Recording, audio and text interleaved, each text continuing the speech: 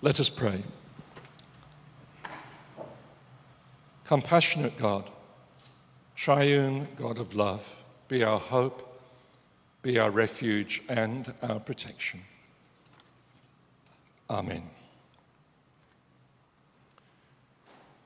I was born uh, in the north of England, in Harrogate, a town which was recently voted the poshest town in northern England.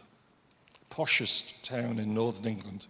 Yet there are those who remember Harrogate in the 1950s and before who reckon its truly posh days are history now. If they're right, it doesn't say much for other so called posh places in the north of England these days.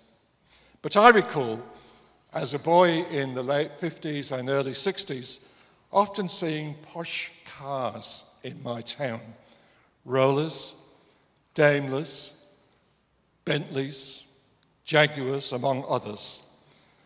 And while we could never afford a car like that, I took it for granted because you just assume that you grow up in a place that's just like where everyone else grows up.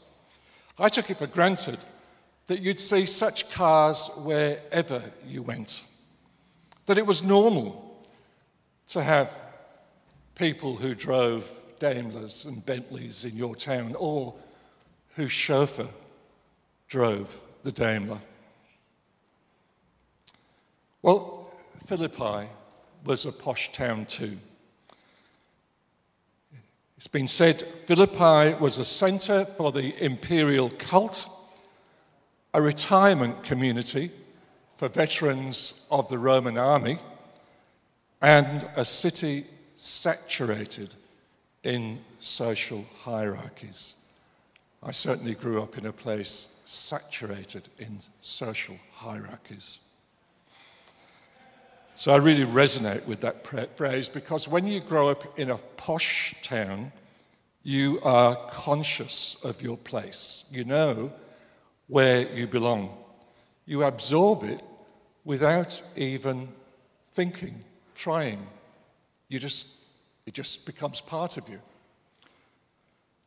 Philippian Christians knew where they belonged and they imagined they knew where Christ belonged.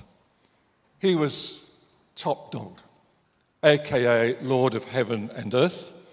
His was the name above all names. So it might have surprised the average Philippian Christian to hear Paul say that having the same mind among you as Christ Jesus means being humble. The mind of Christ is a humble mind, looking to the interests of others, emptying yourself, being prepared to lose your life, even at that time, perhaps to lose it on a cross. Let's not forget that Paul wrote this letter from prison a jailbird who didn't know if he were going to be condemned or released. We don't go to jail for our faith in Australia, but we still have to die to ourselves. Paul spells that out as chapter 2 of Philippians begins. If then there is any comfort in Christ, any consolation from love, any partnership in the Spirit, any tender affection and sympathy, if there's any of this wonderful reality in Christ, Paul says, Make my joy complete. Be of the same mind and having the same love, being in full accord and of one mind, do nothing from selfish ambition or empty conceit, but in humility regard others as better than yourselves. Look not to your own interests, but to the interests of others. Let this same mind be among you that was in Christ Jesus. This wasn't the message the posh, powerful people of Philippi were used to hearing. They were proud. They knew what it meant to have authority. At least they did if they weren't slaves, children, or women. If they weren't any of these, in any of these categories, they could exercise, in other words, if they were a, a citizen who was a male, let's, let's be clear, uh, they could exercise unquestioned authority. Someone's got to be on top of the heap, and someone's got to be on the bottom of the heap in places like Philippi or Harrogate, haven't they? I mean, that's just the way things are. In Paul's time, it was clear who was right at the bottom of the heap, at the very bottom. It was those despised, repellent people who suffered the accursed death of crucifixion. Yet, that's just where Paul locates Jesus. Just where Paul locates Jesus. With the lowest of the low, with the most contemptible of the dregs of humanity. And Paul presents Jesus to the posh, powerful people of Philippi as an example to follow, an example of humility, of self giving, of serving others. Paul says that's where there is true life, eternal life, life right now. Who could have guessed? Who could have guessed without it being shown to us by Jesus Christ? The absolute miracle is some of them heard and accepted Paul's message. They heard of the love of Jesus Christ that took him to the cross and found an answering love being kindled from deep within. They experienced a new desire, a desire to follow the Lord that they had been introduced to. Now, Paul goes on then to quote a hymn to express his feelings, his joy. Sometimes only a hymn can express our deepest feelings, you know? You know that? When I survey the wondrous cross on which the Prince of Glory died, and can it be that I should gain an interest in the Saviour's love? Love divine or love's excelling, joy of heaven to earth come down. Paul drew on the words of a hymn that would have been known by the Philippian Christians. Might not have sounded like a hymn to us, it might have sounded more like a chant. But it was known, and Paul was quoting it. And the first words of this hymn are Though he existed in the form of God, he did not require, did not regard equality with God as something to be grasped, but emptied himself taking the form of a slave, assuming human likeness. And just as if when I quoted the first words of some of those other hymns, you started to hear them in your mind. The Philippians would have heard this hymn, this chant in their minds as they read it uh, in Paul's letter. Now, I'm not sure what the retired soldiers of uh, Philippi and the devotees of the cult of emperor worship thought of this.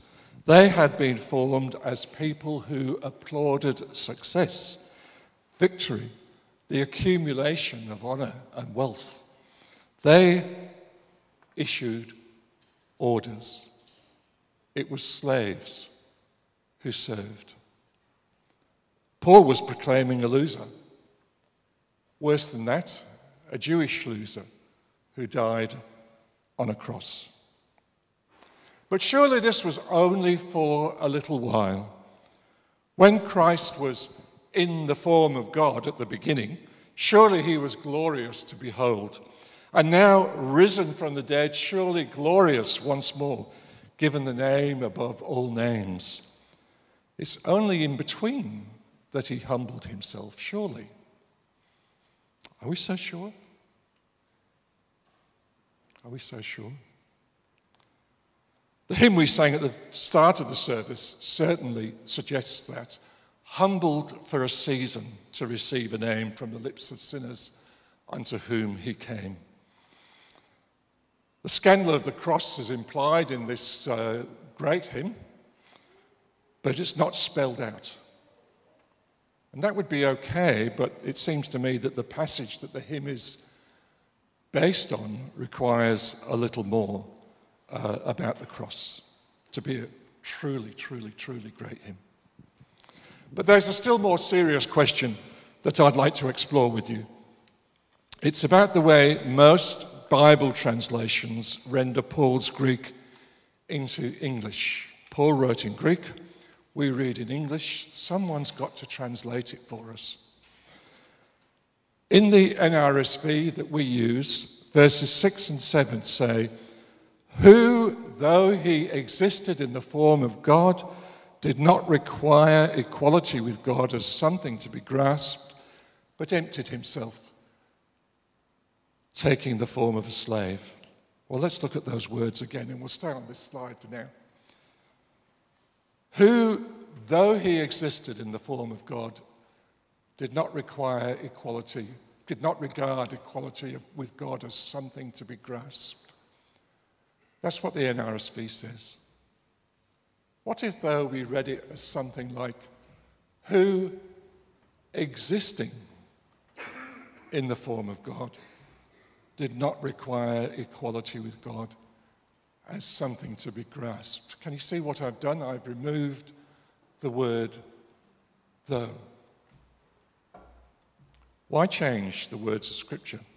Well, the thing is, every translation is an interpretation.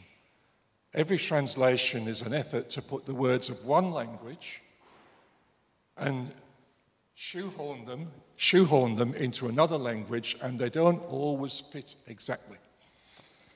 And the NRSV is no exception.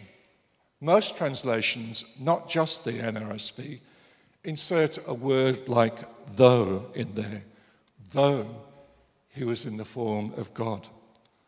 But there is no though in the original Greek. Paul didn't write though. It's more accurate, I'd suggest, to read it the second way who, existing in the form of God, did not regard equality with God as something to be grasped. Or even because he existed in the form of God, he did not regard equality with God as something to be grasped. It's part of God's godness that God is humble, that God's love reaches out, that God's being wants to be shared with the creatures that God has made.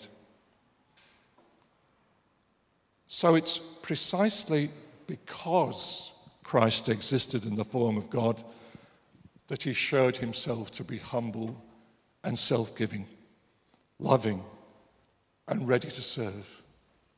Not though he was in the form of God, because God doesn't do those things, but because he was in the form of God. God is not a self important dictator or a micromanager. God is love, self giving, eternally radiating love. So when God exalted Christ even more highly and gave him the name above every other name, so that at the name of Jesus every knee should bend in heaven and on earth and under the earth, and every tongue could, should confess that Jesus Christ is Lord to the glory of God the Father, then, exalted, Christ remains true to himself. He doesn't let it go to his head, he doesn't put on airs and graces, and he's not at all posh. He reigns today by giving and serving. So, let this mind be among you that was in Christ Jesus. The mind he actually lived and showed and embodied. Amen.